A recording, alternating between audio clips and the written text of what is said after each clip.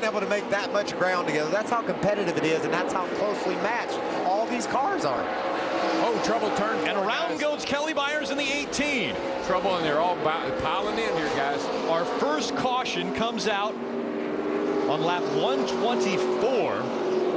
Yeah, just wait till it's clear. We'll roll down here and look at it, guys. Be ready. Left rear.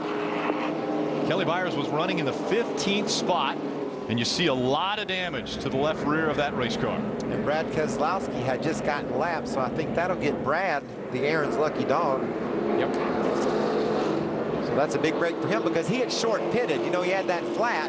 He was on older tires. Now he can get his lap back. There's only eight of them on the lead lap. Brad will be right back in good shape. Good break for Carl because now Carl, he's got a fast enough car that he can drive himself back on the lead lap. Let's see what happens to Kelly Bires. He's down underneath Jason Leffler into turn Whoa, three. Look at those brake rotors glowing red hot, and he's on the brakes hard, and around she goes. And Jason. Jason didn't give him a lot of room. Kept him pinned down to the bottom, and uh, really just sounded no, no, no harm. I mean, he didn't do anything wrong. He just didn't give him a lot of room. But now also, when you get down into that third turn, Daryl, that, that rear end wants to come around in a hurry. And so maybe, maybe Bires chased it up the hill a little bit.